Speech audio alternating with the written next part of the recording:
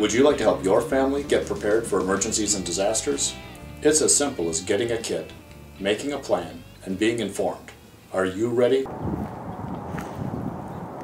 Wow, what a beautiful day. It's so nice to be able to get out and enjoy the warm weather. But I know this is also the season that brings severe storms, and those can be dangerous. I don't like storms, Uncle. They scare me. All that thunder and lightning, I never know if there might be a tornado. Thunderstorms and tornadoes certainly can be frightening, but there's a lot we can do to make them less so. We can stay informed so we know if severe weather is coming our way, and we can know what to do to stay safe from lightning, hail, damaging winds, and even tornadoes. Golly, it would be great if I knew more about storms so I didn't have to be so afraid. I know someone who knows a whole lot about storms. Todd Krause of the National Weather Service. He's the warning and coordination meteorologist in Chanhassen. He can tell us all about severe weather and how to stay safe. Oh.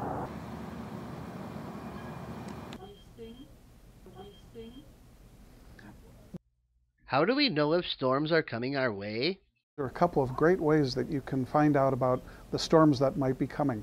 Our weather website is weather.gov. So just go to weather.gov and then you'll see a map of the United States.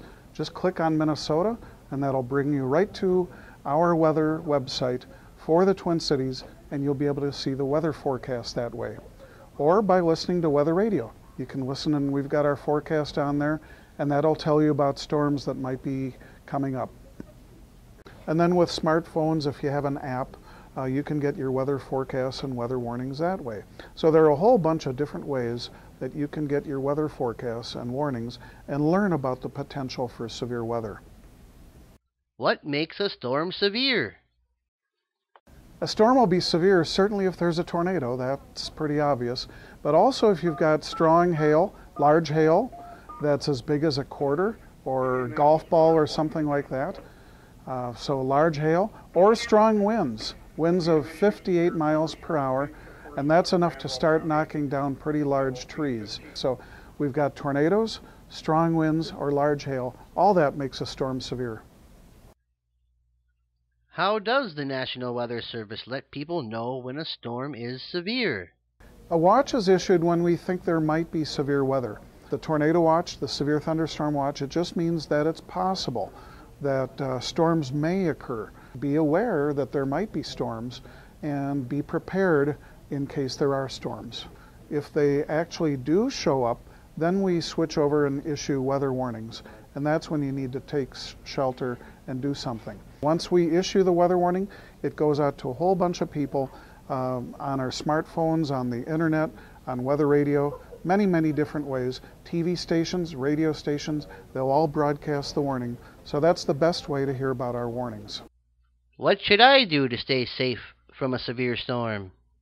Well, if you're outside, you need to get inside. Um, certainly, hailstones, you don't want to be outside when the hail is falling. And then for tornadoes, of course, you'll want to be inside. You'll want to be on the lowest level possible. If you have a basement, get to the basement, or if you don't have a basement, a lower level, uh, an interior room is the best, and away from windows, because those windows could be blowing out oftentimes a small bathroom that's in the middle of the house or apartment complex or something like that is really good. If you're in an office building, a stairwell is really good as well. So just the main idea is get inside. What about people who are driving when a storm hits? How do they stay safe? Find whatever shelter you can. Get inside any building you possibly can. Um, if you're out driving, same thing. If you can, get outside and get out of the car and into some kind of building if you possibly can. That's the best bet.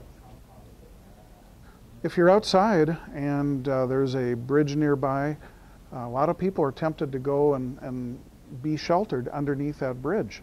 And that's actually one of the worst things you can do. It acts as a wind tunnel, and secondly, it stops up traffic, and now nobody can get through. Is it true that any storm, not just severe storms, can have dangerous lightning? How do I protect myself from lightning? Hear that thunder, You know that means lightning, and from lightning you can only be safe if you're inside.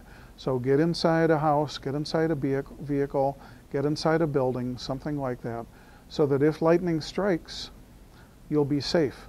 When thunder roars, get indoors. Gee, Uncle, I feel better now that I know how to deal with severe storms, but big thunderclaps still make me jump. Severe storms are dangerous, and you should always treat them seriously. But with a little knowledge and a good emergency plan, they don't have to be so scary.